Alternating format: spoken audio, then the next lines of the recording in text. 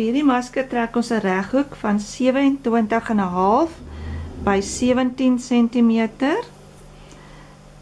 Dan gaan ons 4 cm van daai hoekie afmerk en 4 af.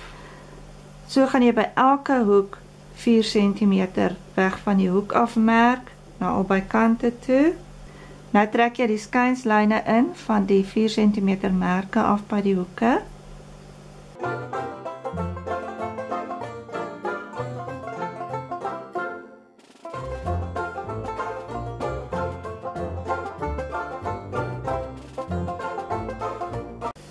Nou gaan ons twee uitsny van lap.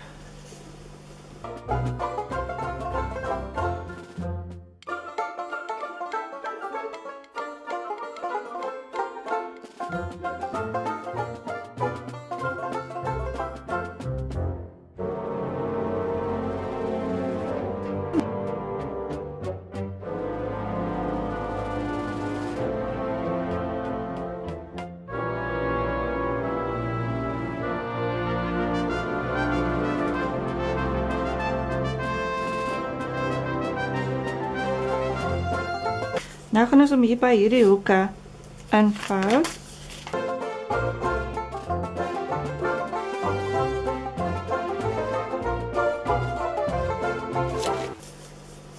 Nou gaan ons die spanbond sny.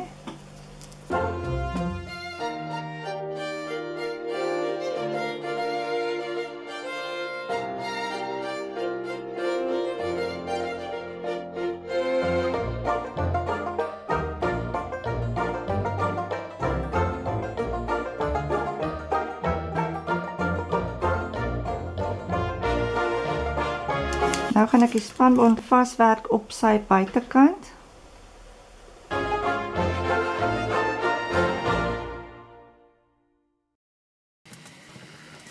Nou stik ons hom aan die kante reg rondom. Ons stik hom nou net reg op die edge.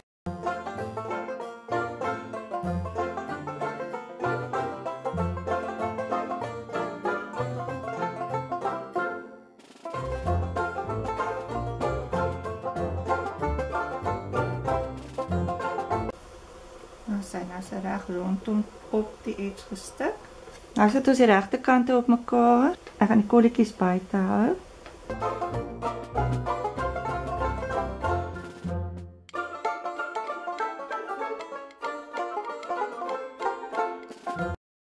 Ons gaan hom nou hier begin stik, daai stukkie dan reg rondom tot ons hierdie kant kom weer so 'n stukkie, dan los ons daai gedeelte oop om die masker om te dop.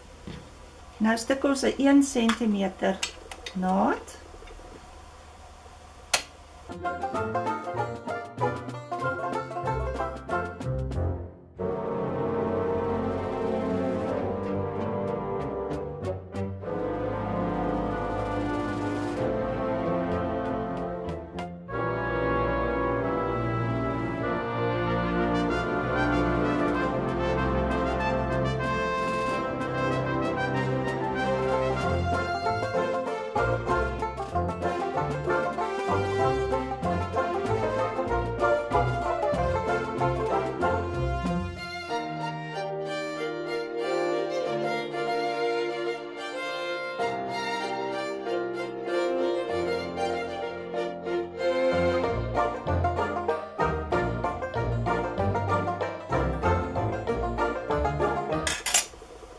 vou ons daai naad in. Ons naad was 1 cm, so ons vou 1 cm hier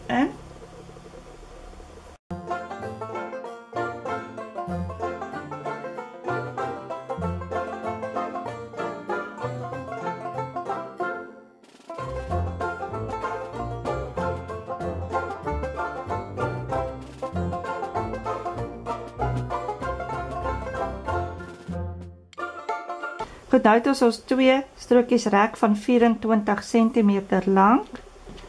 Ons vou ons masker in by daai hoeke.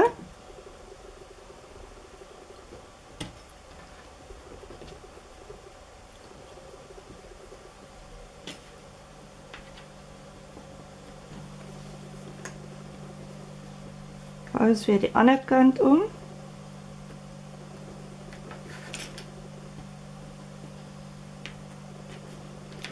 So hierdie twee lê nou teen mekaar hier aan die binnekant. Nou gaan ons hom so pres. So nou is hy plat gepres. Wees net versigtig wanneer jy hom gaan pres dat jy nie met die strykyster op die spanbond raak nie want hy gaan smelt, hoor. Goed, hierdie word nou oorgevou dat hy in lyn kom met die vou daarbo.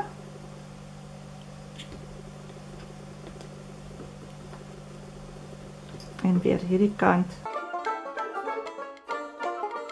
Sit jou rekkie in daar dat hy net so eentjie van die spanbond af weg is, dan word hierdie oorgevou en dan gaan jy hom op die edge vasstik daar. Maak hom net so vas.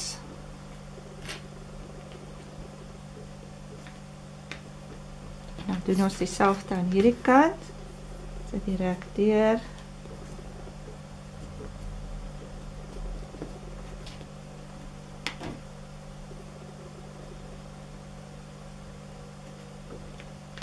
Daar sê, dan gaan ons hom stuk op die edge aan albei kante.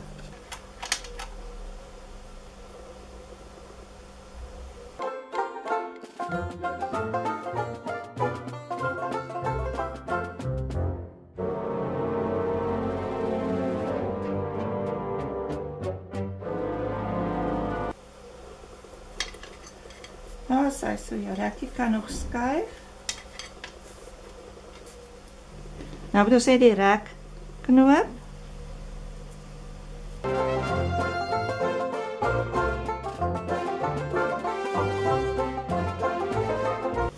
Dan sê die rek dat die knoop binne in daai pocket ingaan.